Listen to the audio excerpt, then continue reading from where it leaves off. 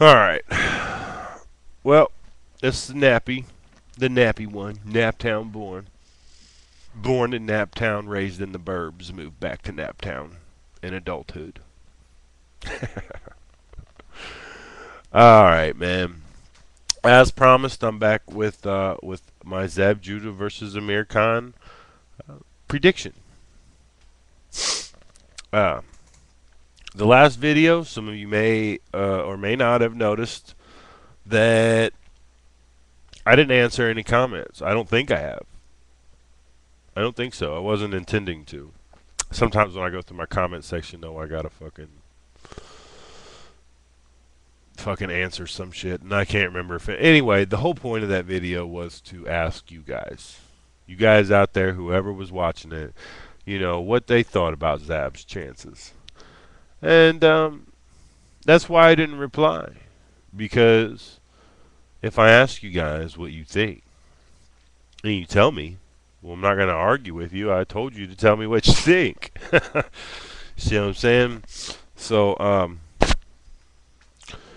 you know, it is what it is, and I put those those thoughts out there for for absolutely a reason. Because when I was when I was going through this prediction in my head, how I how I thought the fight might go, and I was leaning on those factors and going, well, how much of a factor are they really? And, and my answer to that, you know, was varied, but in general, Khan uh, has, of course, gained, you know,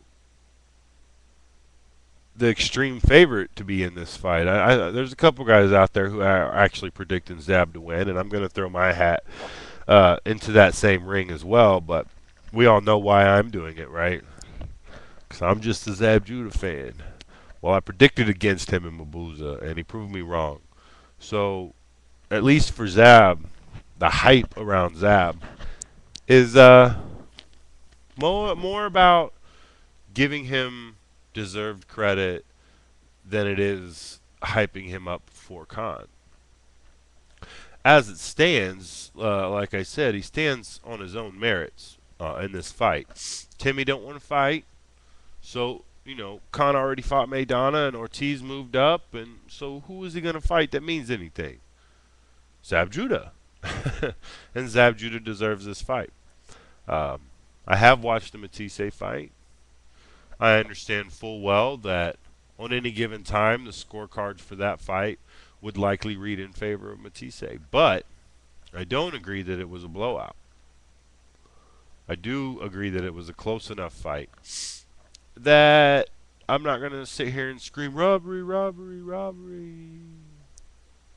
But in my humble opinion, after watching the fight, Zab did lose. But, but okay, so we got a gift decision. Like that's never happened before. Let's look. Okay, instead of focusing on the guy who we see as the big show, you know, the guy who comes to the big show but never wins. He, he's always the fucking runner-up with Zab Judah, right? I mean, that's how a lot of you guys see Zab Judah is he's he's never the winner. Um, it's always second place. Uh, it's not it's not ever on top, even though he was undisputed champ at one time. You know, even even though he's had uncountable experience fighting at a weight that is likely too big for him. And I'm sorry if you don't feel that way, but 147 was challenging for Zab, and for that, I mean, that alone. and and the reason you know is the reason why he has fans and things. You know, there was a time when he he was just too dominant at 140. There was a time when he needed to move up to get the good fights, and he did, and he got the belts there and got respect. Ended up getting buzzed by Baldomir. You know, Mayweather, Kostya Clottey, Cotto. all these guys have beat him. They have. Matthysse beat him, but not dominated. So why so why are we hyping him now? Why is it why is he still fucking relevant? I think that's the question some of you guys are really asking. Like why are we still giving a fuck about Zab Judah? Well I've never seen him in a boring fight. Why do people give a fuck about Arturo Gatti? I mean, rest in peace, but looking at his fights, he never when he did step up to, to the high class level of boxers, you know, he got handled. So, I mean, yeah, give him all the heart and all the credit in the world, but as far as on a on a on a skill wise level, Gatti wasn't there. But we all still love him. I still love Gatti. I love his fights. The Micky Ward trilogies were epic, in a sense. Whether or not they mean anything in the grand scheme of boxing, you know, has yet to be determined because the fights are so memorable that I'm positive that at least one of them will live on through time you know, be on an ESPN Classic 20 years from now. So why hype Zab Judah right now? Well, because he hasn't lost enough of a step for to rightfully call him shot. And because he did beat people that, you know, Kaiser Mabuza, Matthysse, that people did not think he was going to beat. And, and when it comes to Matthysse, I saw improvement from Matthysse to Mabuza in the form of control. Now, yes, of course, when he's ducking, dodging, being Pernell-ish, he needs to come up and make the other guy pay for it. But and and you're also right. It's it's not a new trick. And to this, I'm talking to precise presenter. This video isn't made in, in a response to him, but I just got through watching his video before I did mine. But this is more about bringing my prediction around when when I said I was going to. But just so happens this video was there when I when I jumped on to do this. Anyway, I, I sidetrack a lot. You guys know me. I, di I digress. Anyway, back to Zab Judah and, and Amir Khan and hype and overhype and who's hyped and what's going to happen. This is how I see the fight going. I see the first six rounds going much like the Mabuza fight. Now let's talk about leaky defense. Mabuza had shit defense. Khan doesn't have shit defense. Khan has a leaky defense, though. He gets hit. And for a guy that's vulnerable to getting hit, to go up against a guy like Zab Judah, who's very fast, very crisp, very accurate when he decides to throw, and also has, in my opinion, one punch KO power. That in and of itself is dangerous and makes it more of a puncher's chance. You know, makes it more than just a puncher's chance. Um, Zab Judah has way more than a puncher's chance in this fight.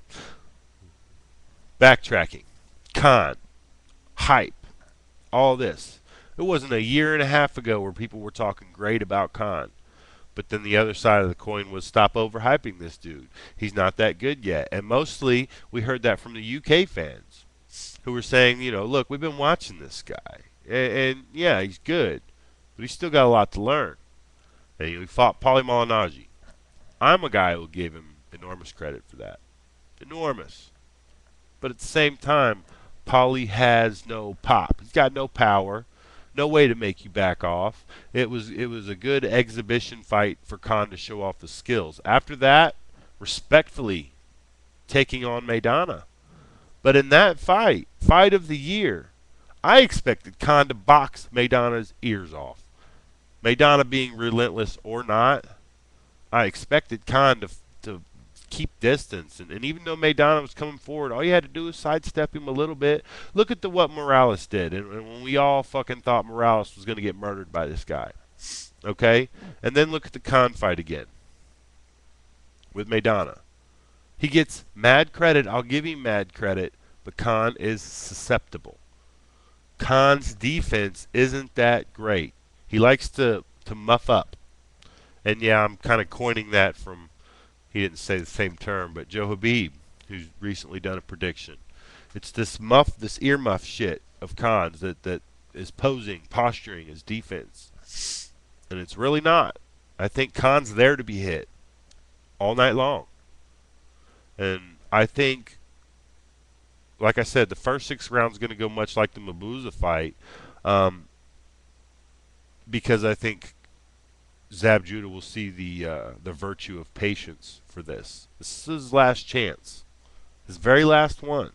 Nobody else in this entire community will ever, you know, be giving this guy these kind of mad props again if he doesn't show up for this fight.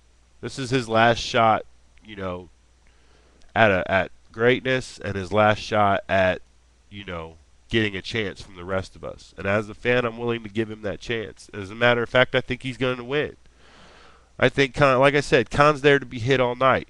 Khan is much easier, much more easy to hit, much easier to hit Khan than it is to hit Judah cleanly.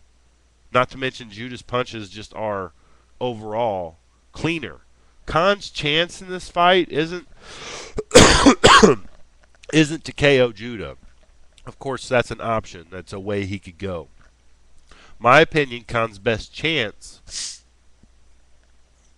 is to smother Judah when he can and keep the volume up because Judah doesn't throw volume.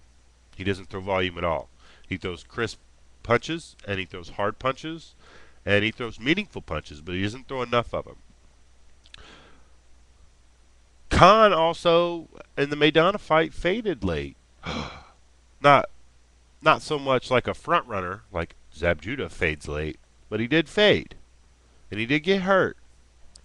And he was vulnerable to a much slower guy, a much lesser skilled fighter who basically relies on his power way too much.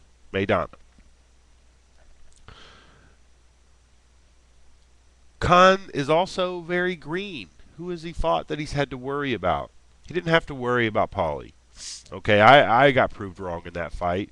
You know, I, I like I said, I, I'm not sure if I picked. I think I picked Paulie to win, so I have to give him his respect. But at the same time, Khan didn't have to worry about Paulie's power, and Khan, you know, was comfortable coming forward the whole fight. I don't think he's going to be so comfortable coming forward once he gets a taste of a couple straight lefts from Zab Judah. I think. I think actually Zab can make Khan fall back a little bit better than Maidana can because Judah is a bit more controlled. I know it sounds strange talking about Judah, but I mean his punch control, his accuracy is way better. We're not talking about looping punches. And when you put the fucking earmuffs on, that straight left is there, that straight upper or that that powerful uppercut of Zab's, which is like his signature, is there. Um, my prediction is Khan will not adjust to Zab's style that easily. He will not acclimate himself that easily um, to Judah, and he'll be relying heavily on Roach's instructions. So whether he follows it or not, we'll see. I think Zab's going to surprise people, though. I think he's going to knock out Khan. And not because Khan's shitty or anything. I think Khan's going to get caught later. I think in round eight or nine, I'm calling for. Uh, to make it more specific, I'm I'm predicting Judah by KO in the eighth round. Khan's green as fuck. I think this experience and Judah's style, his presence, his his straighter punches, that uppercut, I think this all factors in. And, and for me, call me biased, I'm sure I am, but but for me, this isn't about overhyping Judah. It's about whether or not you really think he has a shot. I think he does. It's about whether or not you really give him respect for his fights, even if he's lost them. Everybody, when you talk about Zab Judah losing his big fights, always keep in mind that De La Hoya lost a lot of his big fights too. But yet he gets mad respect. So why why is it so strange that uh, you all of a sudden see Judah getting all kinds of all kinds of mad respect when he's coming against Khan? I think it's it Khan's. I don't know. Khan's greenery just really makes me suspect of Khan right now. You say greenery, he's he's. I don't know. I don't think he's going to act like I said. I don't think he's going to adjust well to Judah, and I think Judah takes advantage of it. And Khan's game is on the outside, and Judah Judah can play that game. Judah can play that game better, in my opinion. Um, he can get under Khan's jab and he can land that vicious uppercut. And I'd, let me tell you one thing: if that vicious uppercut lands the first time cleanly on Khan, I think he takes Khan's courage. That's what I see happening. I think you know, this is no this is no pushover fight. This is no gimme. In my opinion, it is a toss-up. I'm predicting Zab, but I can just as easily see Khan outpointing Judah for 12 easy rounds and coasting. I just don't think that that's going to happen. Zab Judah by KO in the eighth round. Combine this with my other video and you got a full-on analysis.